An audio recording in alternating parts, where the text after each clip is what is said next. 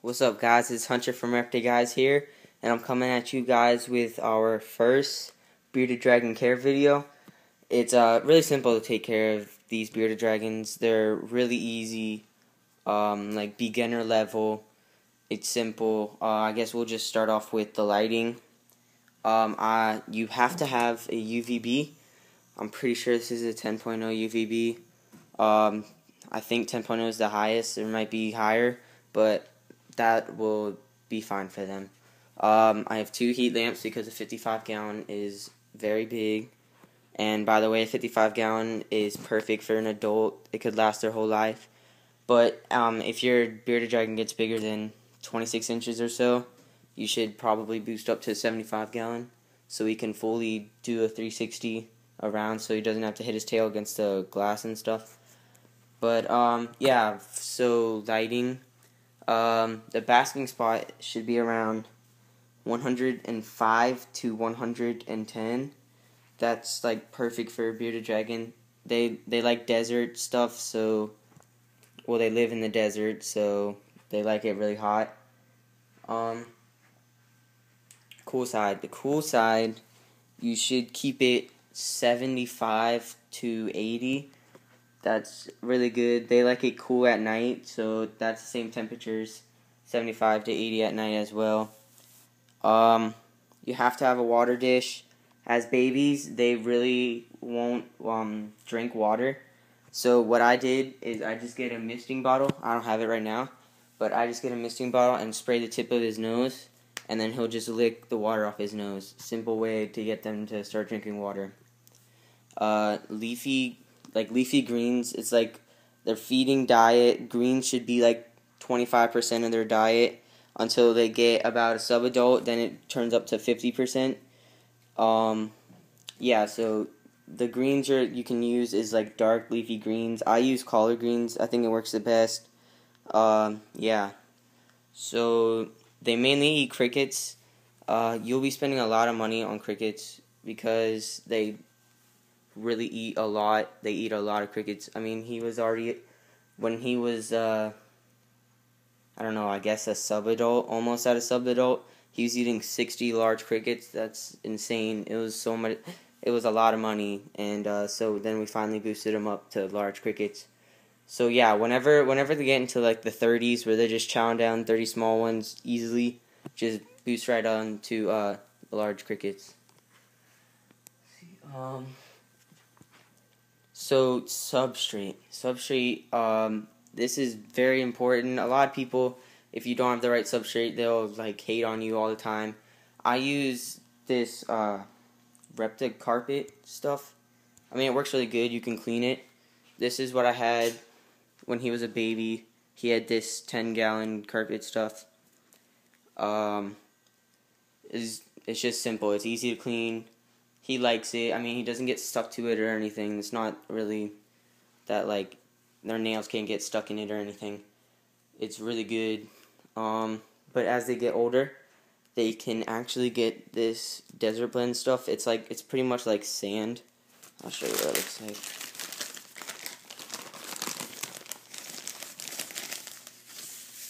It's like this stuff right here. It's just pretty much sand. Yeah, it's it's just sand. So, um, but I wouldn't use that until they get like older, like at least a year and a half or two years old, because they tend to eat the substrate. I don't know why. I guess like if they were eating like crickets or something and they missed a cricket and they ate the sand, uh, it would get in their digestive system, and it's pretty. It's really bad for them. It can actually cause death. So yeah, I'm I really don't like sand. I don't know why I bought that. I bought that when I first got them, so um, I'm probably just gonna stay on the carpet. But um, so yeah, whenever you feeding, whenever you feed him like crickets and stuff, I put this calcium stuff on here. Uh, it's the Fluker's calcium. It gives them D3, which is really good for them. Um, I just put it on the crickets. I sometimes put it on the veggies and stuff. Uh, oh yeah, with the feeding, once they do get to adults, they'll eat mostly um, vegetables because they're really big for crickets. So they like bigger diets. So vegetables. I mean, you can feed them a bunch of fruits. And yeah, fruits are re- yeah fruits are really important for them because it also gives them D three. So you don't have to give them the vitamin stuff as long as you give them fruits. Um, let's see. Oh yeah, baths. You need to give them a bath. I'd say like once every month, or one or twice, or three times every four months or so, because they like when they're in shed and when they're in shed especially you should give them a bath because it helps them like get the shed off. Um like when when i clean the cage like you'll clean the cage a lot because they crap a lot. Um whenever i clean the cage i just put him in the bathtub because it's easy. Um, he'll be out of the out of the way and then i can just clean everything else. So um, you should clean the cage like once a month too because it does get really dirty. If I if I would have done a video before he went through a bad shed, like here's a piece of it. He went through a really bad shed, and that that this is his back. He had a full body one, and shed was all over the place. It was just insane. I think I actually have a little video. I'll show you. Um. Yeah, it's like really simple. All you need to do is just keep up on feeding, make sure the temperatures are right, Remember, it's 105 to 110 basking, 90 the night around the 90s on the hot side, and then around the 80s on the cool side. Uh, they like to hide at night, so I'll put a hide. I just have this hide log right here, the half log. Um, yeah, like the basking spot should be like elevated towards the ba- um the heat lamp. That's why I have this little log thing that he's on right now. Um, this hammock, it costs like twenty dollars. It's a lot of money, but he tends to get on it every single day, and it actually works really good. Um, he he really enjoys it, and my other bearded dragon also enjoys it. So I don't know. I guess you guys could get one of those. Those they're really cool. You can get them at any pet store. I'm pretty sure. Uh, is that everything? Oh yeah. Um, feeding. Once they get older, when once they're like younger, um, you can get them like mealworms and stuff like that. And then once they get older, you can start feeding them like pinky mice, like I did in my last video. I fed him his first pinky mice. He devoured it. But superworms, superworms are awesome. They're like they're not good for them, but like they like um I don't know. They just stuff them up, feed them whenever you don't want to feed them crickets one day. Just feed them that and veggies. Very simple. These bearded dragons are very simple to take care of and everything. Um, basically covered everything.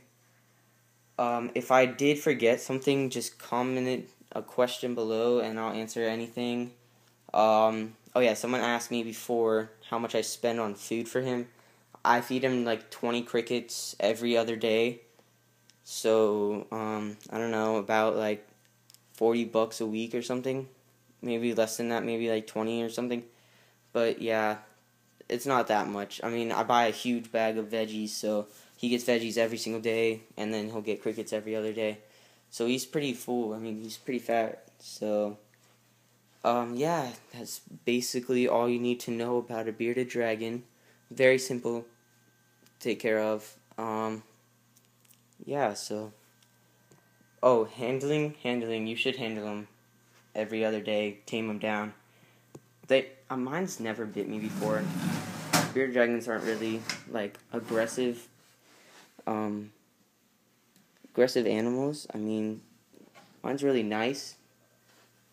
He's like gentle giant. He's huge, but he's really nice. So, um, I don't know. Like I don't really care about the morphs. Like any morph is the same care. So, uh, that's basically all you need to know about them. So, see ya. I hope you guys enjoyed, and I hope this guy, hope this video will help any people that are getting bearded dragons. See ya.